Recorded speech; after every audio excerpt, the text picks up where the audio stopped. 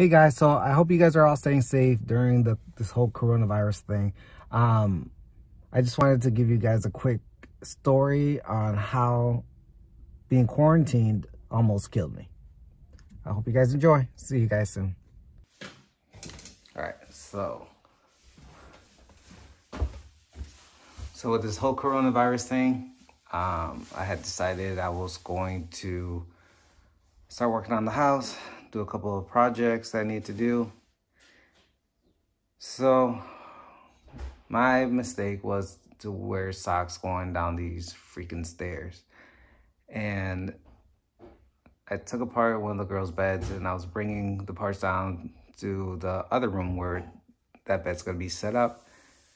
And as I was coming down, I think the fourth step, I slipped and tumbled all the way down the stairs. Down to here. And it was a yard sale. There's stuff everywhere. Screws everywhere, parts everywhere.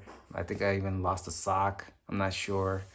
Um, I was too much in pain to think about it. But, um, so what I'm going to do today is I'm going to install this stair runner that I got from Home Depot so that I don't bust my ass uh, down the stairs again because that hurt. My back hurts, my side hurts, my pride hurts, everything hurts. So that's what we're going to do today.